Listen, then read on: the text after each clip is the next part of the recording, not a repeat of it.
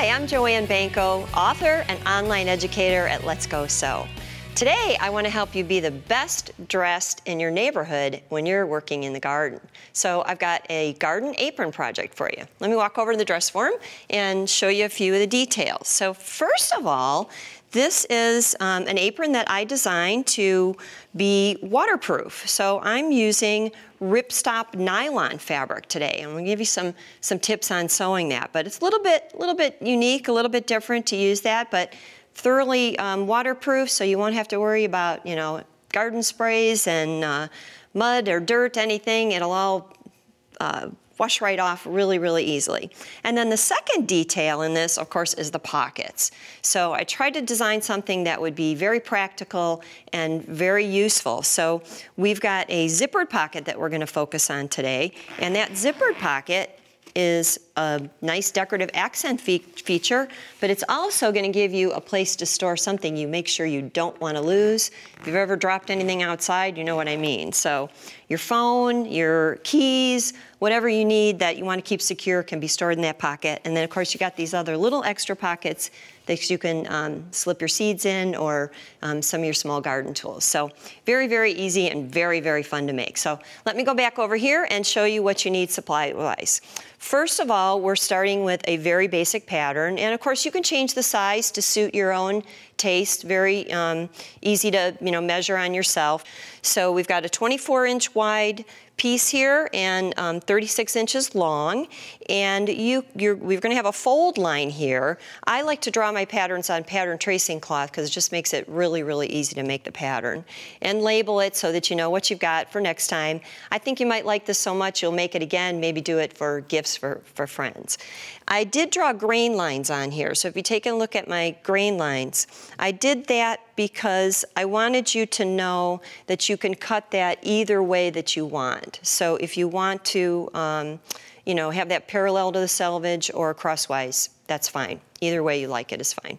So let's talk again about supplies. You're going to want a good quality, strong thread that is going to match your fabric, of course. I'm going to sew with contrast today so that you can see. The um, nylon ripstop fabric, I want you to know that this does have a right and a wrong side. The rib lines or grid lines are a little more prominent on the right side, so make sure um, you mark that if you need to so you don't get confused. You're gonna need some very ordinary uh, ribbon for the tie and two pieces that I'm gonna use for the zipper. Now, it's important when we do the decorative stitching that those pieces are firm and stable for your decorative stitching. So I'm gonna uh, just pick this up and show you how crispy this is. I stabilized mine with a liquid stabilizer. You put the liquid on, you let it dry, and it makes it really, really nice and stiff. So that's one option. You can use a tearaway or even fuse some interfacing on the back. So do whichever way you like it. Then you're gonna need a seven inch zipper, and you're gonna need a very small little ribbon piece for the tie for the, um, the tab for pulling the zipper. And then you wanna make sure that you're using um, sharp, fine needle because that's gonna pierce this fabric better. And then um, glass head pins work really, really well too. So I'm gonna head over to the machine and we'll get started stitching. All right, so I'm gonna start by showing you the ribbon and I've already selected my favorite, one of my favorite uh, decorative stitches and I'm gonna actually turn the um, projector on here so that I can preview my stitch right on my fabric. So while that's booting up, I'm gonna get my um, ribbon positioned and you, if you could look here, you could see that I've actually got my decorative stitch lined up right on my ribbon. I'm gonna lower my presser foot and I'm using a special foot control that's allowing me to do that with, um, with my foot. So let me get started stitching on this and just go right down the center. So again, you can see my ribbon's nice and stiff and that's gonna keep that nice and, and firm.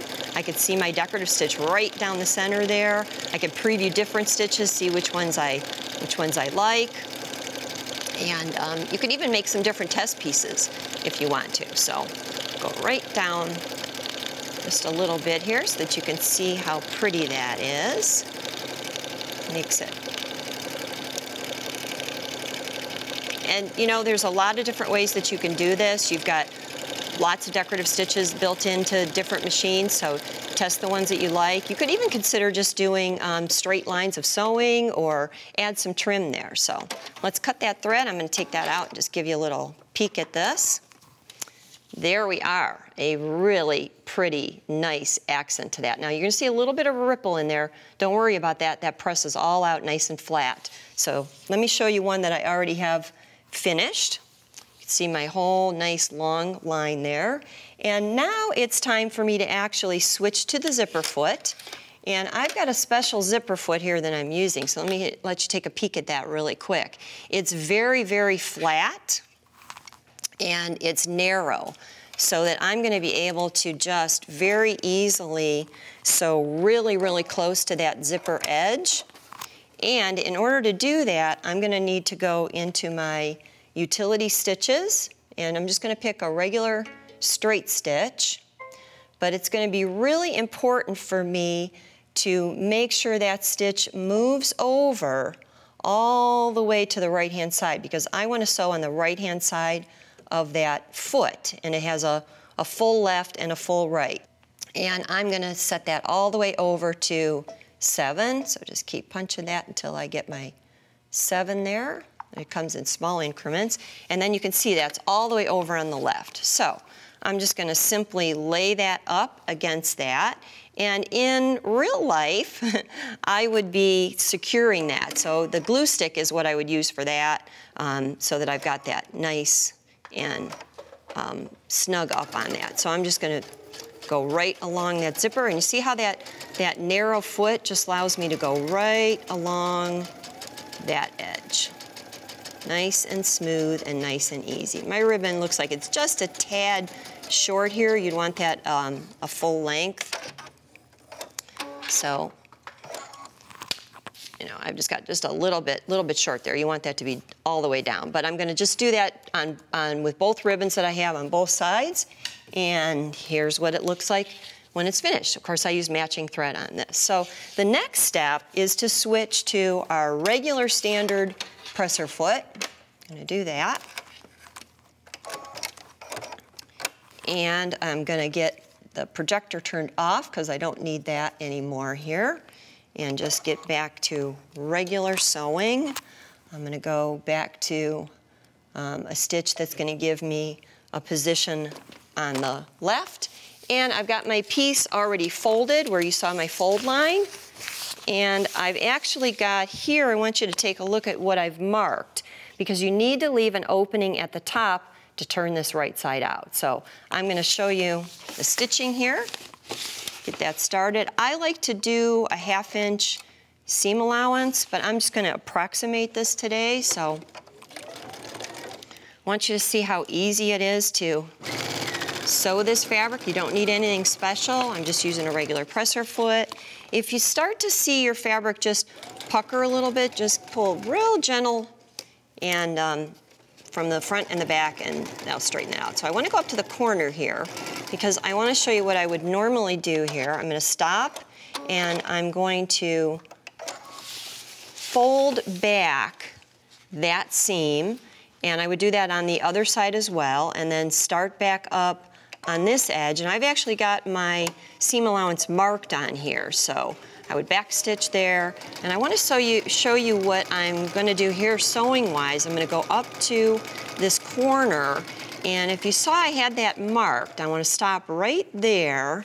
And I want to pivot because it's easier when you go to turn this right side out. And you're going to have to turn under that part where you have the opening and fold it. So I'll show you this in a second here.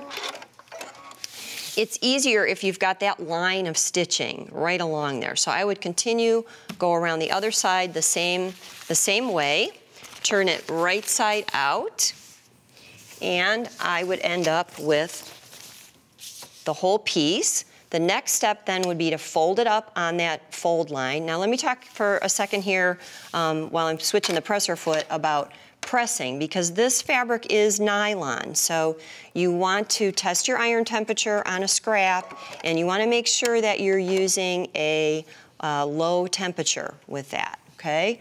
So I'm gonna go back here now and I need to move that needle over again all the way to that right side.